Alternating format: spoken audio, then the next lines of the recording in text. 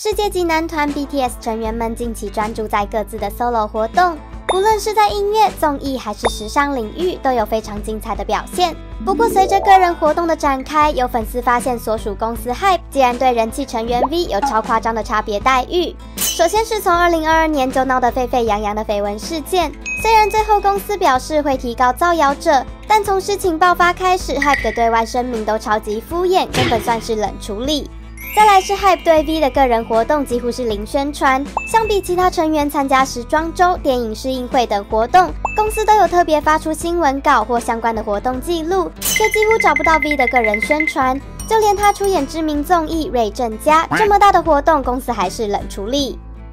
越来越夸张的差别待遇让粉丝们超级不满，甚至有粉丝表示希望 V 不要再与 Hype 续约了。只能说希望公司可以认真对待这些问题。我们泰亨值得更好的对待啊！